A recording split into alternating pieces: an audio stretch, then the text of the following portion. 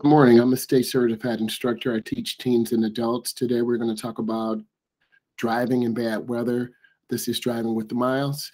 While driving in bad weather, the best drivers are the ones who make calm and aware situations safely. Number two, hydroplaning is when you ride on a film of thin water.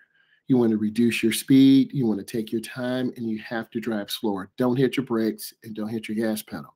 Number three, what is one way to get traction for your tires when your car is stuck? You can use your rubber floor mats under the tires. They allow you to have traction in the snow. Next, when is it safe to use your high beams?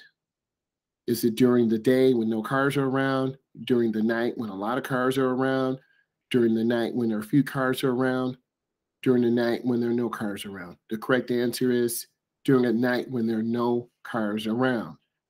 Number five, when driving in snow, you should follow the tracks of the vehicle in front of you because the correct answer is uh, B, the tracks are drier uh, the tracks do make it more visible, but the tracks are drier because they have driven through the snow and they're they're actually lines your tracks you can follow.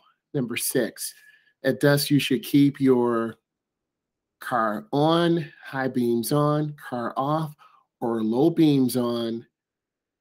You need to keep your low beams on.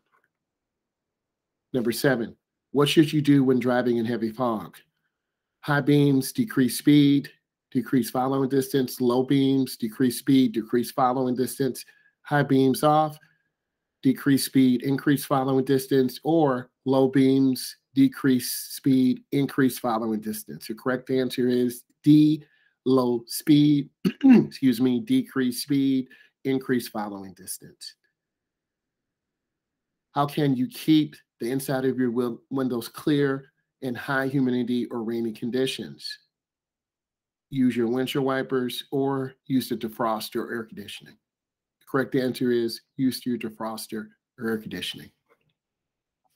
If you're driving into sun glare from bright sunlight, you can reduce your glare and eye strain by using your defroster air conditioning or using your sunglasses or sun visor. Using your sunglasses and sun visor. Number 10, hydroplaning occurs when rolling on the sidewalk during a turn, losing contact in the road, or losing all air pressure. The correct one is B, losing contact with the road. You see this blue icon to the right. When driving at night with no other vehicles present, use the low beam headlights or high beam headlights. It is high beam headlights. That's what that uh, symbol is, a blue light and that blue represents high beam. Number 12, stop on the shoulder of the road in heavy fog, warning others that you are not moving. Keep your headlights on, shut off your headlights, or use your emergency flashers. You want to use your emergency flashers or hazard flashers. It is that triangle shape you push that, that turns your emergency flashers on, your two front and two rear. When driving in snow, you should use your low beams to reduce speed, high beam headlights to reduce speed, stay home, or use low beam lights and speed up. Use your low beam lights and reduce speed. Rain tends to make roadways slickest as the rain begins to fall or about 15 minutes after the rain falls. As the rain begins to fall, the oil and gas are mixed together, create a paste. So you got to be careful and reduce your speed. If you must drive through deep water, apply your brakes lightly through the water or maintain normal accelerator pressure. The correct one is A, apply brakes pressure lightly through the water. If your windows ice up and traction conditions are especially hazardous, it might be best to drive very slow, drive closer to other vehicles, or not drive at all.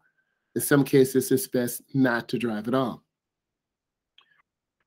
Why can a bridge surface freeze before road surfaces do? The roadway has the warmth built in it. Air, cold air circulates above and below the bridge road surface. It is B. The cold air circulates above and below. They can ice up first. You need to reduce your speed. Black ice. It provides more traction than regular ice. It is a thin sheet of visible ice, or it's easy to see. It is a thin sheet of invisible ice.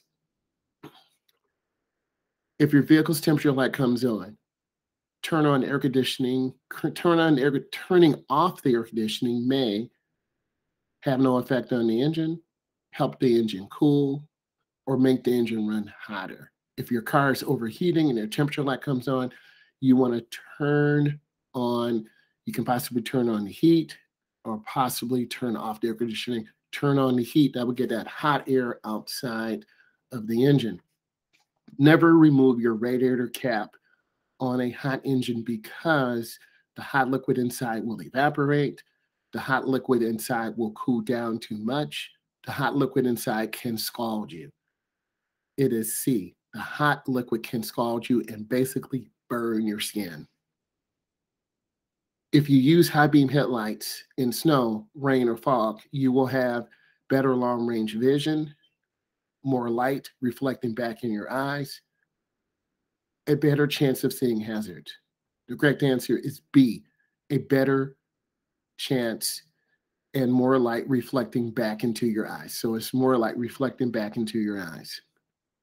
In reduced visibility conditions, you need to work hard to gather your visual information because you need more time to respond to hazards. Your reflexes slow in bad weather. Others need to see you. The correct answer is need more time to respond to hazards. If you have a leak in your vehicle's exhaust system, you could experience a carbon dioxide gas, a buildup of carbon monoxide gas, increase engine performance. The correct answer is a buildup of carbon monoxide gas. When driving on slippery roads, you should always use cruise control, never use cruise control, use cruise control only on highways. The correct answer is never use cruise control on slippery roads. Last one, when driving in fog, you should use your low beam headlights, high beam headlights, or parking lights. The correct one is your low beam headlights. If this brought you value and you learned something today, subscribe to the channel. I will be doing more tutorials like this to prepare you for your DMV test. Thank you.